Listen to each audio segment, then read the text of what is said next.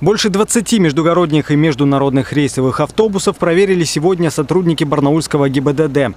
Автоинспекторы дежурили на выезде из Барнаула за новым мостом, останавливая все рейсы. По словам автоинспекторов, такие проверки теперь проходят регулярно по всей стране. Причина в том, что аварии с участием автобусов в последнее время участились. Один из последних резонансных трагических случаев произошел в феврале в Калужской области. Автобус перевернулся на трассе. Погибло 7 человек, в том числе 3 ребенка. Полицейские смотрят техническое состояние автобусов, обращают внимание на самочувствие водителей, не пьян ли, не нуждается ли в отдыхе.